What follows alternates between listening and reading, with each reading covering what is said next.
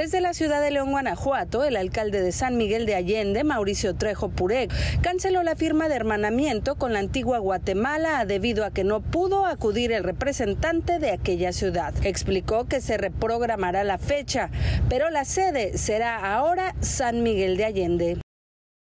Es importante porque son ciudades mm, eh, que tenemos turismo cruzado con, e, con, todos ellos. Entonces, un hermanamiento de estos lo que hace es fortalecer al el turismo cautivo que ya tenemos y que compartimos ambas ciudades. Pero también en materia de promoción, es una promoción muy orgánica que si nosotros decidiéramos anunciar San Miguel de Allende en Woodlands, eh, en, en, en Aspen, Colorado, o en Palm Springs, eh, nos estaría costando cerca de 3 millones de dólares anuales poder hacer ese tipo de publicidad.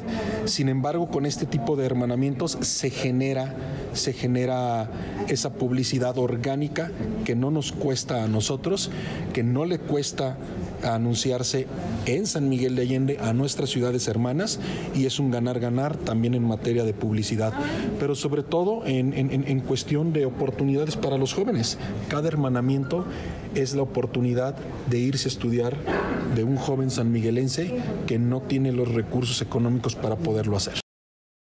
El funcionario municipal dijo que su municipio ya ha realizado estos convenios o hermanamientos con tres ciudades, pero próximamente lo harán con cinco sitios más. Declaró que la antigua Guatemala, aparte de ser bonita, sus autoridades le apuestan al crecimiento, tanto así que la ciudad es patrimonio cultural de la humanidad. Es una ciudad donde se impulsa el desarrollo a través de la conservación que está llena de cultura y arquitectura, además de prácticas de crecimiento.